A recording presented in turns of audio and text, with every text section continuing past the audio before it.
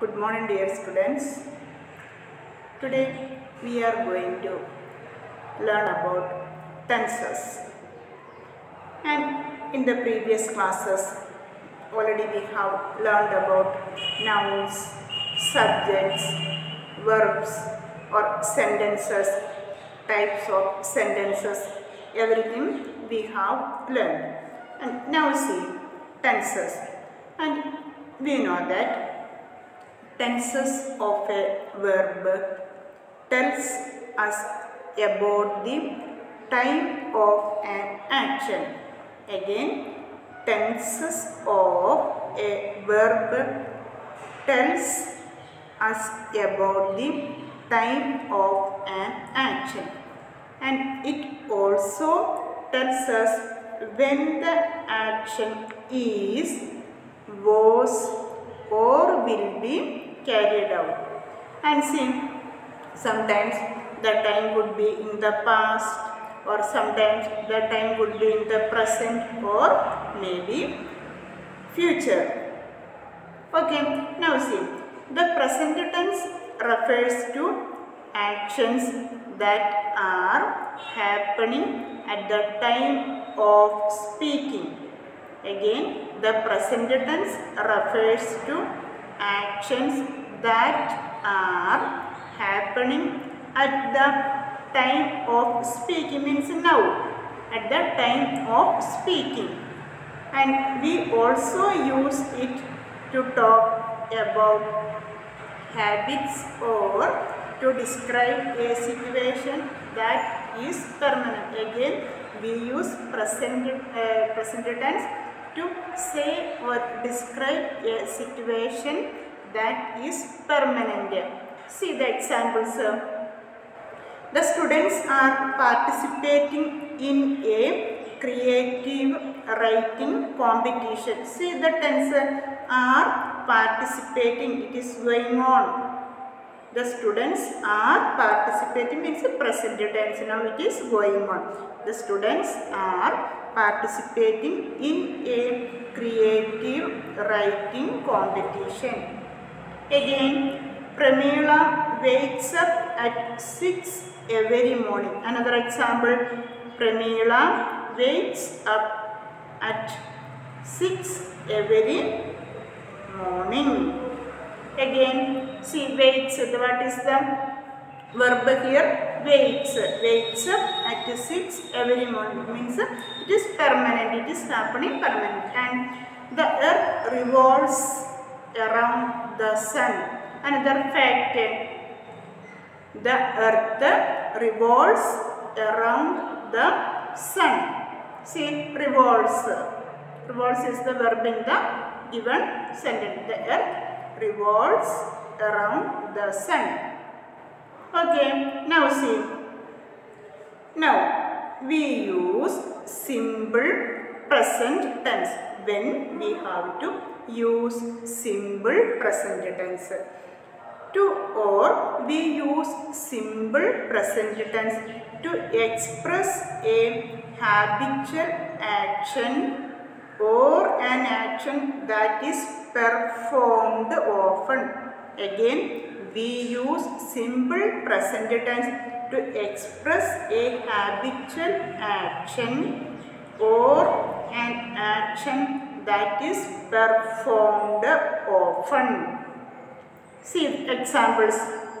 Aniruddha is often late and runs to school. See, Aniruddha is often late and runs to school. See, the habitual action. See, to express a habitual action or an action that is performed often.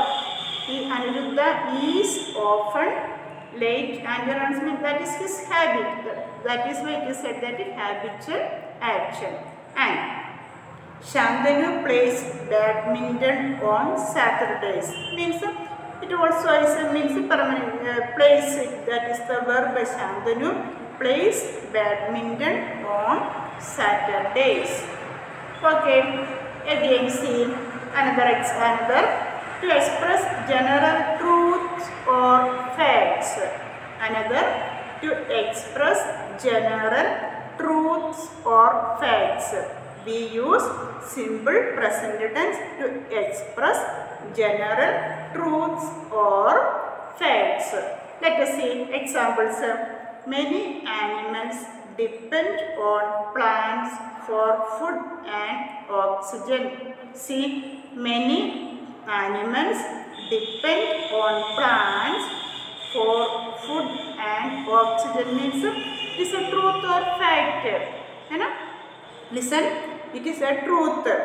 And same many animals depend on plants for food and oxygen. Another example, the main types of habitats on earth are aquatic and terrestrial. This also a truth or a fact means all these are simple present tense. or the given sentence which have uh, we have learned now are simple present. Okay, now another see. In exclamatory sentences beginning with here and there to express an action that is taking place at that moment. Okay, now see the examples related with this one. Here comes the train. Means this is an exclamatory sentence. Here comes the train. Ah, exclamation. There goes the Indian team. See, there goes the Indian team. This also is an exclamatory sentence. And see again, to talk about a future event that is part of a fixed timetable. Uh, simple present when we are using to talk about a future event that is part of a fixed timetable. Again, see, the Prime Minister visits the US next Sunday. The Prime Minister visits the US means already it is timetable means already it has decided. So the Prime Minister visits the US next Sunday. Again the other heads of state reach. There tomorrow. Here see the verb reach. Other heads of state reach there tomorrow means it also timetable. Means it already fixed. The other heads of state reach there tomorrow. And see again see. Present continuous we use the present continuous tense to talk about an action that is going on at the time of speaking, the action that is going on at that time of speaking. And see, in the present continuous tense, are, is or are are used with the ing form of the main verb means when we are talking about uh, present continuous tense then we have to add ing with the verb or with the verb or with the main verb we have to use uh, or we have to add ing. See the examples. The stars are twinkling in the sky. See the main verb. Then we have added tingling ing that is the stars are tingling in the sky. Again, Mrs. Shankar is getting ready for office.